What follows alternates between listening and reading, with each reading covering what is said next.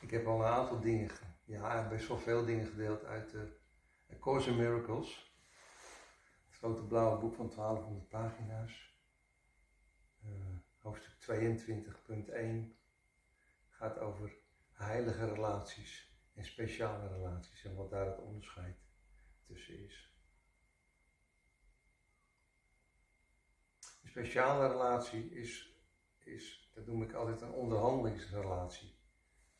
Jij doet wat voor mij en ik doe wat voor jou. Zo houden we onze liefde in stand. Of uh, ik ga met jou mee op zomervakantie, dan ga je volgend jaar met mij mee op wintervakantie. En dat is niet lullig bedoeld, dat is zoals het gaat. Maar in de Course in Miracles wordt dan gesproken van een speciale relatie en niet van een heilige relatie. Met een heilige relatie wordt iets onvoorwaardelijks uh, bedoeld. In een heilige relatie wordt niet onderhandeld.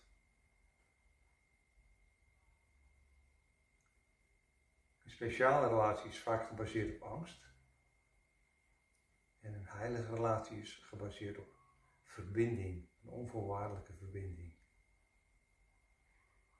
In een heilige relatie um, kan je ook zien dat als ik, in een, als ik een heilige relatie heb, maar dat kan ook met mezelf, hè, of met, um, met de drank of met een baan. Het hoeft niet speciaal met een persoon te zijn. Ik kan ook een heilige relatie hebben met een gedachte. Ja, zo'n heilige relatie is gebaseerd op de stem van het hart en niet op de stem van het hoofd. Een heilige relatie is uh, gebaseerd op groei. Een heilige relatie is dat ik mezelf en de ander als heel kan zien en niet als behoeftig. Alles wat in een speciale relatie uh, gedaan wordt of gezegd wordt, is vaak van tijdelijke aard.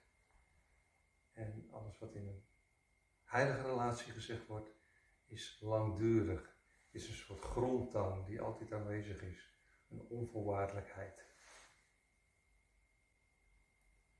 In een, uh, in een heilige relatie is ook sprake van een onvoorwaardelijk geven en nemen. Onvoorwaardelijk, dus zonder voorwaarden. Een heilige relatie is gebaseerd op de stem van het hart en niet op de stem van het ego. En uh, omdat ik een mens ben, kan ik niet altijd, uh, het is niet de bedoeling dat als ik, in een, als ik zeg, hey, ik wil een heilige relatie zijn, en dan ga ik nooit meer naar een speciale relatie. Nee, want als mens ben ik gewoon gevoelig en beperkt. Dus soms neig ik weer toch naar het onderhandelen in een relatie. Dus ik neem me voor om vanuit een heilige relatie, om van een onvoor, zonder voorwaarden te geven en te nemen. En soms drijf ik weer af naar die andere kant. Toch wel onderhandelen. Als, ik nou, als je, jij dit nou voor mij doet, doe ik dit voor jou. En zo houden we elkaar in de greep. Dat is een beetje te kort um, waar dat verschil in zit tussen die heilige relatie en die speciale relatie. Zo'n heilige relatie is ook uh, iets wat um, gebaseerd is op groei en op voedend. Je het woord voedend? Scheppend. Dus, dus muziek maken en tekenen en schilderen is een scheppende activiteit.